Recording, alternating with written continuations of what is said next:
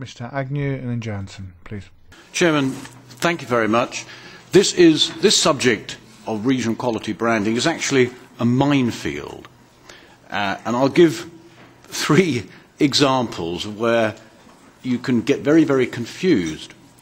Sometimes there is, it's just a generic recipe, like Cheshire cheese or cheddar cheese. Cheddar is a geographical area of Britain, it's a range of hills, Cheshire is a county.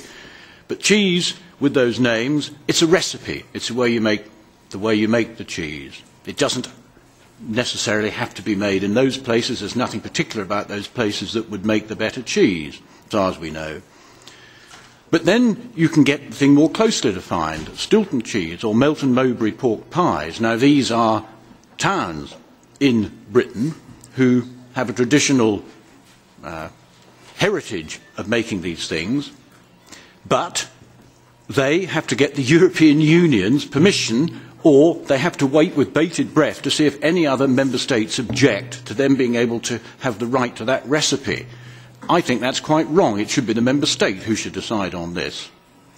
Then we get, uh, on the other side of the coin, or actually the geographical area is crucial. So you have fenland potatoes.